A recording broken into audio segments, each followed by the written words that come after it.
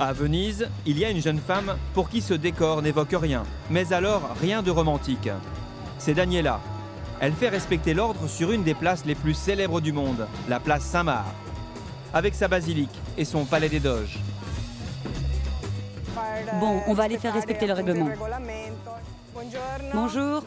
Bonjour. Il est interdit de donner à manger aux pigeons. Interdit de nourrir les pigeons car leur fiente endommage les vieilles pierres. De toute évidence, personne ne le sait ou ne veut le savoir. Mais là, personne n'a arrêté, là. Si, si, ils sont juste en train de prendre des photos. Mais, euh, monsieur, je vous ai dit qu'il était interdit de donner à manger aux pigeons. Bien sûr, il est interdit de laisser ses détritus. Mais plus surprenant, il est aussi interdit de manger, de se promener torse nu et même tout simplement de s'asseoir. Bonjour. Il est interdit d'être assis ici. Si vous voulez, vous pouvez aller vous asseoir dans le jardin, derrière sur la droite. Personne n'a l'air d'être au courant. C'est parce que les gens ne lisent pas. Regardez tous les panneaux qu'il y a sur les lampadaires et les poubelles.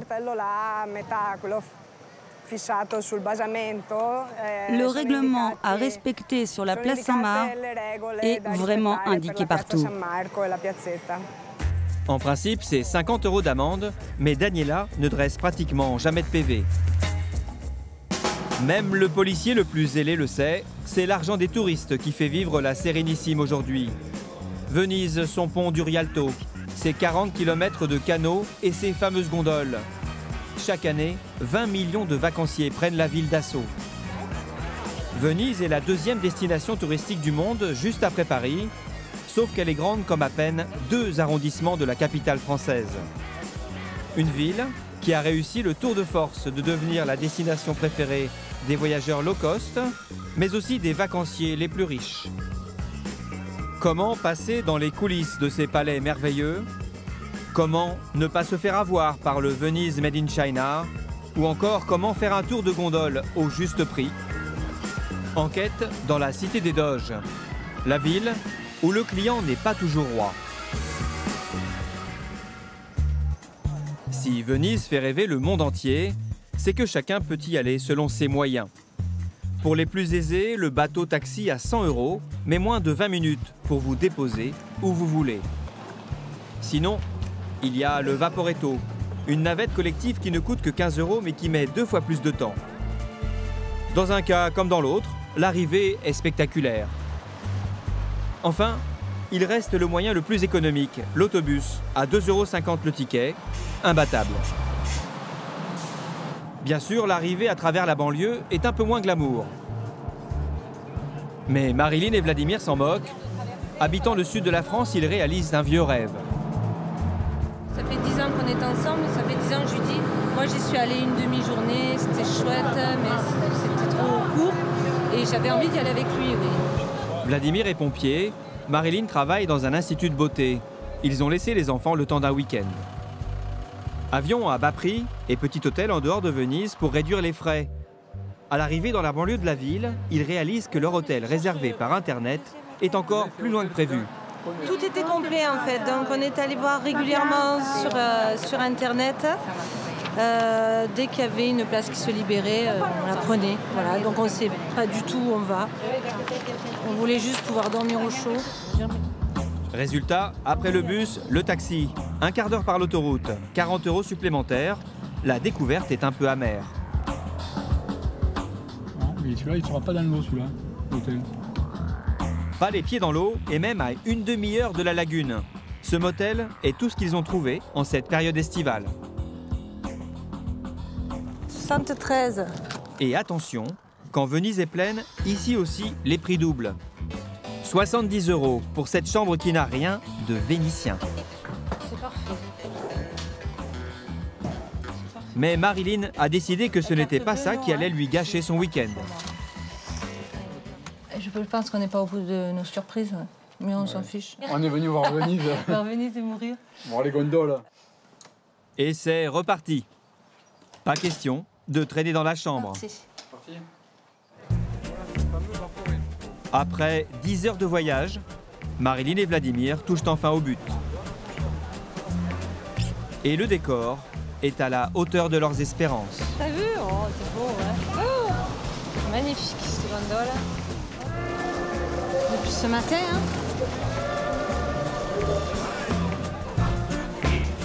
Le pont du Rialto, Magnifique. les palais du Grand Canal. Et 20 minutes plus tard, dernier arrêt, place Saint-Marc.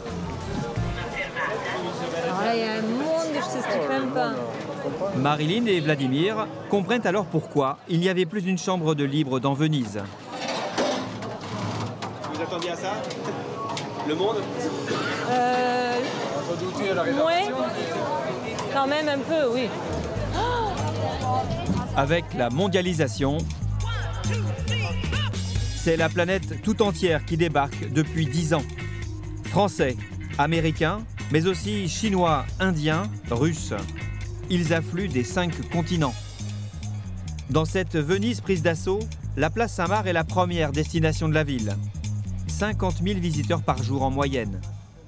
Une merveille architecturale que Marilyn et Vladimir n'auraient manqué pour rien au monde. C'est kilomètres.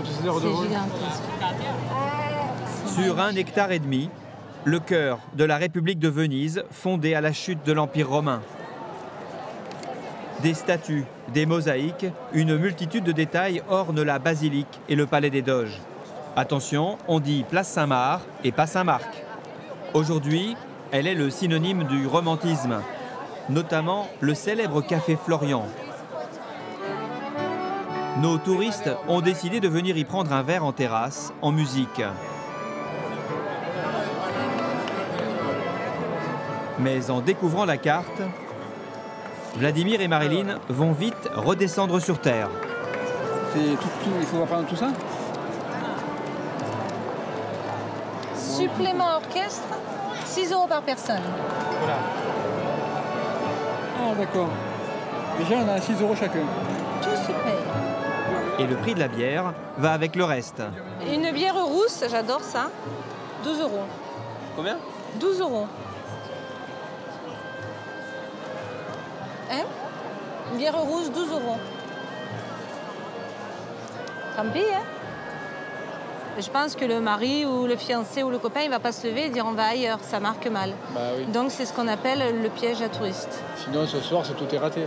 Sinon ce soir, euh, il emballe pas. Voilà. Et voilà. Alors c'est vous Florian Une fois les bières sur la table, on oublie presque tout. Place Saint-Marc. Oh, on va la déguster cette bière. La magie opère. Allez. à nous Si la bière au Café Florian est quatre fois plus chère qu'ailleurs, c'est à cause des loyers exorbitants de la place Saint-Marc. Les commerçants les répercutent sur leurs prix. Souvenirs, masques, verres artisanal soufflés à Murano, ici tout coûte beaucoup plus cher que dans les ruelles à côté. Alberto Nardi est l'héritier d'une longue dynastie de bijoutiers vénitiens. Il préside aussi l'association des commerçants de la place. Alberto nous le confirme, en 10 ans, les loyers ont explosé. Quand vous regardez cette galerie, vous remarquez que chaque arche est le pas de porte d'un magasin. Nous sommes peu nombreux à nous payer plusieurs pas de porte. Eh bien, chaque arche coûte 7 à 9 000 euros. Avec un petit bureau à l'étage, en mezzanine. Louer ces murs coûte très cher. 5 pas de porte, 40 000 euros par mois pour Alberto. Les mêmes prix qu'à Paris. Bientôt, seules les grandes marques de luxe pourront se payer une boutique place Saint-Marc. Cette diversité de l'offre commerciale finira par disparaître, nivelée par le haut. Et ce n'est pas une tendance positive. Les grandes villes du monde sont de plus en plus souvent coupées en deux. D'un côté les grandes marques et de l'autre les magasins de souvenirs et de pacotilles.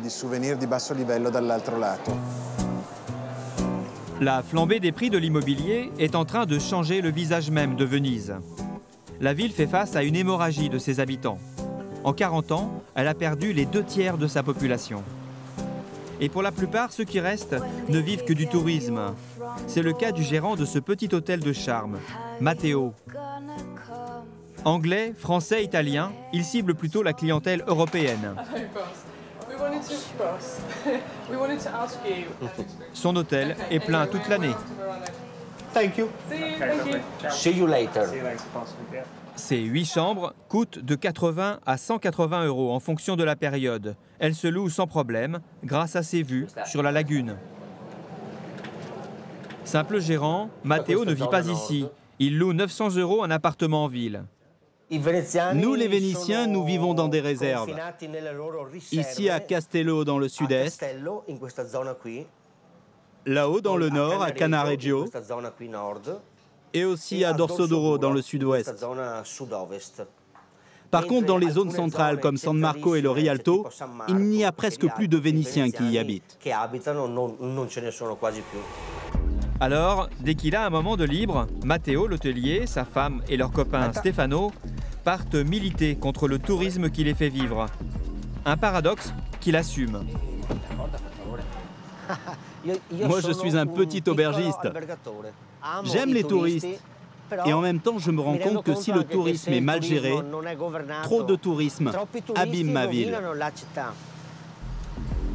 Le premier cheval de bataille de Matteo, ne plus payer à la place des touristes, notamment cette armée de balayeurs et déboueurs qui s'activent après le passage des hordes et qui remplissent cette flottille de bateaux poubelles deux fois plus chère que les bennes à quatre roues de nos villes. Avec tous ces touristes, les ordures coûtent à Venise 3 à 4 fois plus cher. Et c'est nous qui les payons. Ils payent 600 euros d'impôts locaux par mois, rien que pour le ramassage des ordures. Mais ce n'est pas qu'une question d'argent. Le tourisme de masse ébranle les fondements de la ville elle-même. Ah, j'allais oublier cette petite embarcation. Non, je blague. En fait, ce n'est même pas le plus grand des navires de croisière qui viennent ici. Il est de taille moyenne. Le danger, c'est que les hélices de ces géants des mers provoquent des ondes sous-marines qui viennent taper dans les fondations des palais vénitiens et les fragilisent. D'ici 20 à 30 ans, des bâtiments finiront par s'effondrer. Des barres d'immeubles flottantes qui transportent jusqu'à 5000 passagers. Il en passe jusqu'à 10 par jour. Passer au cœur de Venise est devenu un produit d'appel pour les croisières en Méditerranée. Pour Matteo, c'est au contraire une catastrophe annoncée. Face à la place Saint-Marc, la pointe de la Giudecca. C'est un poste d'observation idéal pour ce qu'il veut nous montrer. Regardez-moi ces dimensions. Elles sont incroyables. Ces navires sont gigantesques. Si le commandant perdait le contrôle de son bateau, il finirait sa course sur un monument. Ce serait un désastre. D'ailleurs, on est déjà passé à deux doigts d'une catastrophe. Le 1er mai 2004, un navire dérivé à l'entrée du Grand Canal. Par chance, il s'est échoué avant. Matteo joue aussi la provocation. Son association a publié cette carte baptisée ironiquement Veniceland. Sa Venise, transformée en parc d'attractions, avec le grand jeu du tsunami et la course aux bars à touristes. Le tourisme rapporte de l'argent, du travail, de quoi vivre. Et en même temps, il tue la ville à petit feu. À tel point qu'à la mairie de Venise, on planche aujourd'hui sur une taxe de séjour quotidienne pour tenter d'endiguer cet afflux touristique incontrôlable. Pour l'adjoint au maire Sandro Simeonato, Venise approche de la saturation. Il y a un point d'équilibre au-delà duquel nous ne pourrons pas aller quand ceux qui y vivent seront trop pénalisés et quand l'état physique de la ville ne le permettra plus. Elle est tellement fragile que Venise n'y survivrait pas. En attendant, si le tourisme menace l'existence même de Venise, il fait la fortune des 400 gondoliers qui se partagent le marché. Il se dit ici que chaque membre de cette confrérie très fermée gagnerait en moyenne plus de 20 000 euros par mois. Un succès compréhensible, car la gondole à Venise, c'est un passage obligé. Tout le monde ou presque veut faire un tour. Marilyn et Vladimir, notre couple de Français, ont bien sûr programmé un tour en gondole. Et comment résister à un accueil pareil Et comment elle s'appelle? Vladimir. Roberto. Et Roberto sait y faire avec les touristes. Enchanté, on y va. C'est un voyage de noces, non? Le voyage de noces. Quelle est belle la fiancée. Le petit compliment à la dame. La Venise de Casanova. Le discours est bien rodé. C'est rigolo. Ah, c'est tout un cinéma. Et c'est parti pour 50 minutes de rêve. Balade, carte postale, chansons comprises.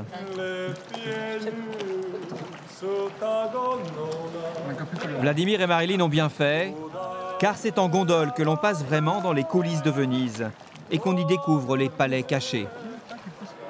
Et voilà les amis, vous avez vu comme le temps passe vite avec un gondolier À leur descente, ils ne regrettent rien. Bon, à la prochaine. Je vous attends avec les enfants cette fois. Présence de notre caméra ou sympathie du gondolier, Vladimir paye le prix officiel imposé par la mairie. Combien c'est alors Euh, c'est 80 euros. 80 euros les 50 minutes. hein. Bon. C'était à faire euh, quand on va à Venise, donc euh, voilà, ça se prévoit avant et se dire.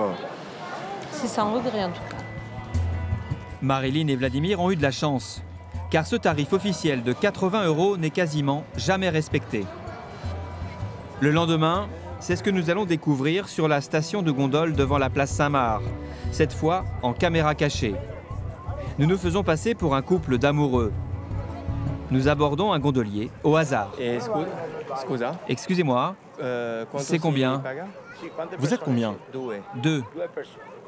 C'est 100 euros le tour traditionnel, sinon il y en a un plus petit à 80. Pour combien de temps? 35 minutes. Et celui à 100 euros? Ah, celui à 100 euros, le tour est plus long. On voit aussi l'Académie Marco Polo et il dure 45 minutes. Plus cher et moins longtemps que le tarif officiel. Le suivant pousse le bouchon encore plus loin. C'est combien Le tour en gondole Oui. C'est 120 euros. 120. Et vous n'avez pas moins cher, euh, moins longtemps Tu veux me donner de l'argent, monter dans ma gondole et redescendre tout de suite? Non. Prends donc le grand tour de 40 minutes. Celui-ci, c'est vraiment y faire pour embrouiller le touriste. Mais dans le guide, c'est marqué 80 euros. 80 euros, tout à fait. Ça, c'est le petit tour en ville qui dure 20 minutes. Le grand tour, normalement, c'est 150 euros. Ah, c'est 150 euros normalement? Oui, mais pour ce prix, je te fais le grand tour de Venise. Tu vas voir ce que tu verrais en une journée de marche. Et avec un gondolier qui te raconte tout. Ce jour-là, personne ne nous proposera le prix officiel. Nous faisons affaire avec un troisième gondolier. Lui, comme les autres, ne prend pas les cartes de crédit. Alors, la demoiselle se met là, et vous ici. Bon, je vous fais 100 euros le grand tour. Cette promenade est l'occasion pour nous d'avoir une petite discussion sur les dessous du métier. Et ils n'ont rien de romantique. Et si je veux une facture, je peux en avoir une? Non, non, non, non, non, nous on ne fait pas de facture. On est exempté de facture. Et ça se comprend, on n'a nulle part où écrire. Et quand il pleut, vous imaginez Le carnet serait tout mouillé. C'est une des particularités de notre métier. Pas de facture, des paiements uniquement en liquide. Officiellement, les gondoliers déclarent gagner 20 000 euros par an. Le fisc italien a commencé à mettre son nez dans leur compte il y a trois ans. Les 400 gondoliers ont dû passer à la caisse. Nous avons dû payer une amende. Si tu disais ⁇ Je ne veux pas la payer ⁇ ils te contrôlaient sur les cinq dernières années. Et là, tu peux être sûr qu'ils auraient trouvé quelque chose sur ces années-là. Mais c'était une grosse amende? Tu m'étonnes. Combien? 30 000. 30 000 euros? Tu t'imagines? On est 400 gondoliers et les 400, tous, on a dû payer l'amende. 12 millions d'euros rendus à Venise pour l'entretien de la ville qui les nourrit et les fait vivre. Depuis, les gondoliers jouent-ils la transparence sur leurs vrais revenus?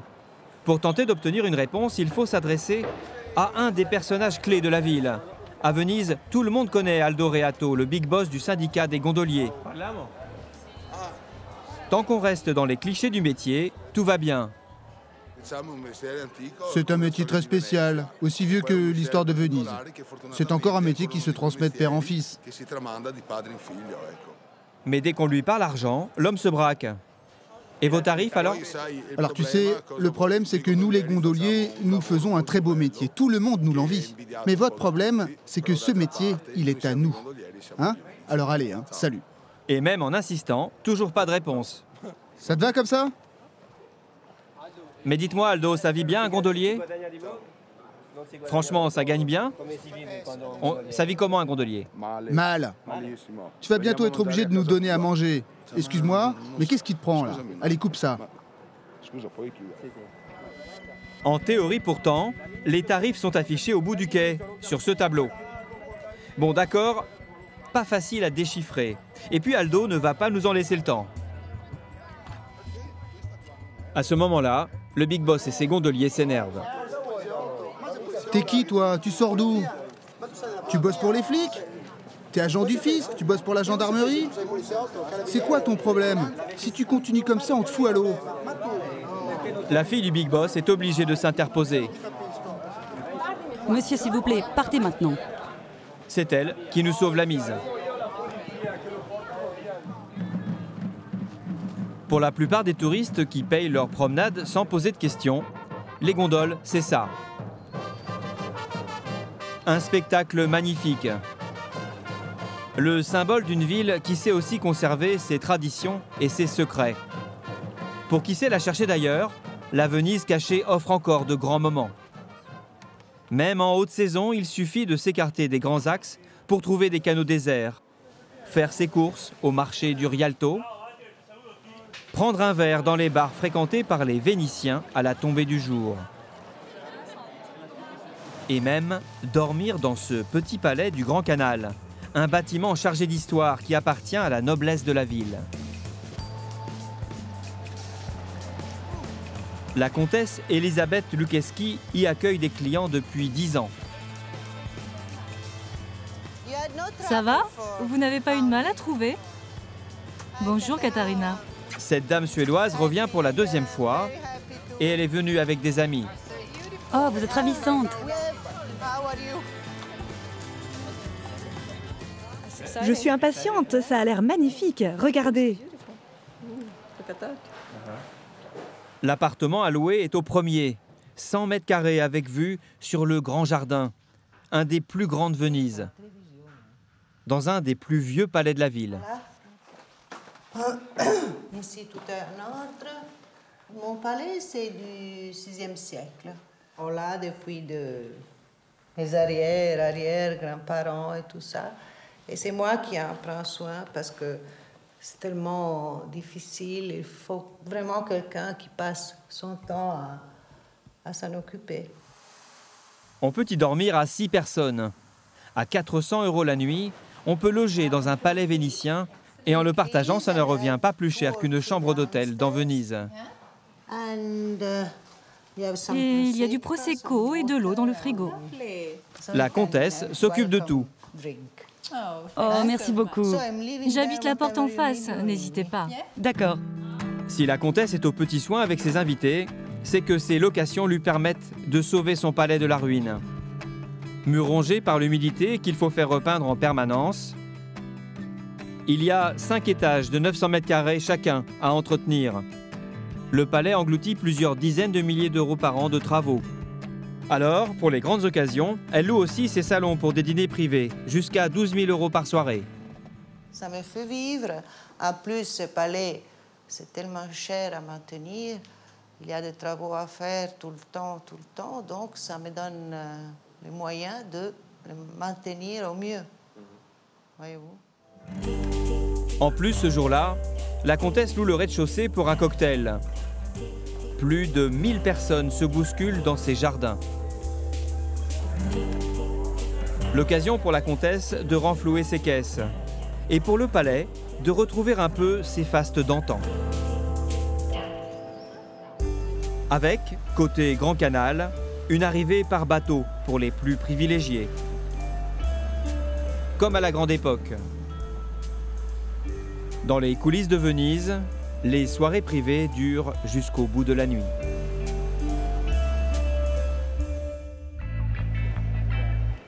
Fin de week-end pour Marilyn et Vladimir. Ils veulent rapporter des cadeaux pour toute la famille, notamment des masques de carnaval ornés de plumes. Premier arrêt, ce stand tenu par un Vénitien. Celui-ci est fait main à Venise. C'est comme tous les autres que vous voyez là. Le seul avec des plumes, c'est celui-là. Mais vous savez que c'est un style chinois, les plumes? Ce n'est pas vénitien. Vous aurez toutes les plumes que vous voulez sur le stand là-bas. Ça vient de Chine. Du coup, Marilyn et Vladimir changent de stand. Beaucoup plus de plumes, en effet. Le vendeur est chinois. De quoi avoir quelques doutes sur l'origine de la marchandise. Ah voilà, original. Bon, voilà.